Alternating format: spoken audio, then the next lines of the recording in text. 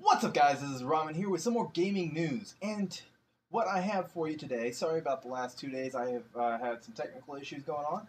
But what I have for you today is going to uh, come up from the past two days and today. So there is a uh, new brawl in Heroes of the Storm. It's called Loot Cavern. It's a one lane uh, shuffle pick, and uh, it's going to be standard play, so there's no uh, restrictions. All you really have to do is going to be destroy the enemy core to win. All right, and Blizzard uh, made some announcements for their uh, schedule for the Gamescom 2017. Um, I'm going to go more over that on Tuesday in preparation for the Wednesday uh, with the reveal ceremony. On the PBE, they made the dressing room update, class uh, added class backgrounds, and a bigger window, which is something that we've all been asking for for a long time. The little skin sale for uh, yesterday through the 22nd is going to be uh, Nightblade Irelia, Sweeper Alistar, Blight Crystal Varus, Pool Party Draven.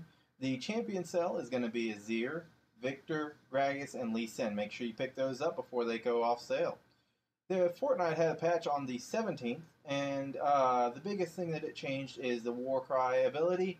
Um, range rate of fire is now 40% for that. Melee range uh, rate of fire is down to 16% and weapon uh, damage is down to 40%.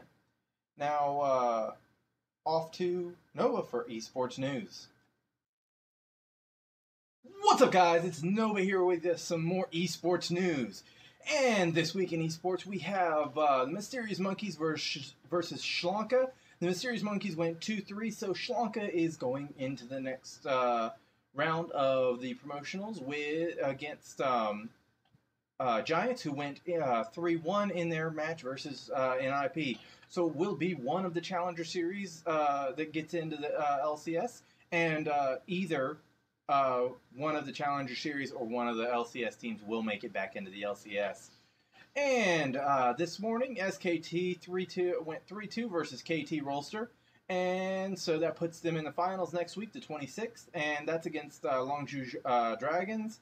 Then today, uh, for the uh, EU um, playoffs, the Misfits versus UOL, and uh, Misfits dominated 3-0 versus uh, Unicorns of Love. I mean, it was a really, really good match to watch. Make sure you go through and watch it. Remember to comment, like, and subscribe below, and thanks for watching.